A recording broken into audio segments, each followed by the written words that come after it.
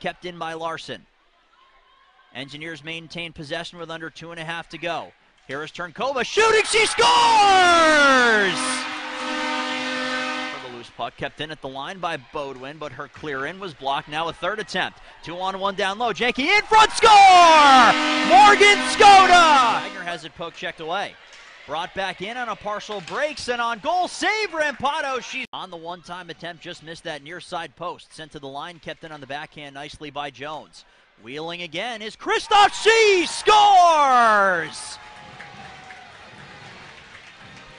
Nina Kristoff off the iron and in, and the Engineers have struck first. Last weekend against Boston College. Turned over, stepping right in. Kick save made by Keating on the shot from Lily Barrett. In the defensive end, never a good thing. Here comes Nina Kristoff in on a break. It's Kristoff. She scores!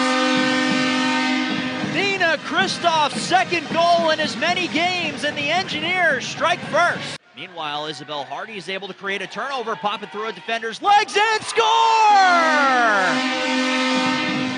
Oh, what a goal from Isabel Hardy. Her first as a member of the Engineers, and the lead is doubled. It's 2 0. It's part of the rink, so they.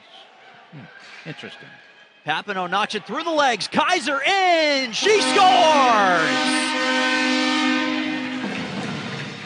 Ellie Kaiser's first of the year. She rings it off the iron and in. It's 3 0 Engineers. Georgia Bailey will step in. Now a two on one, a two on two. Here is Phillips. She centers a pass. They score!